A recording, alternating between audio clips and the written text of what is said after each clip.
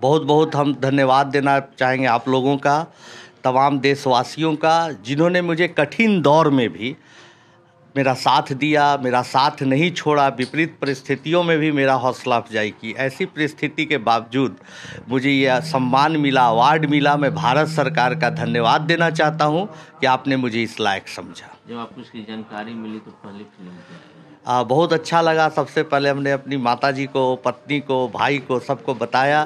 दोपहर में कल ये मुझे जानकारी मिली कि आ, मुझे पद्मश्री अवार्ड मिलने जा रहा है गृह मंत्रालय से जब कॉल आया। उसके बाद हम लोग घर में सब परिवार बच्चे भाई भतीजे सब एक साथ जुट के खाना पीना खाए और खुशी मनाए। जब आपने शुरुआत की थी सुपर थर्टी की और जब कल पद्मश्री मिला इस इस सफ़र में बहुत सुखद अनुभव थे, बहुत संघर्ष भी था।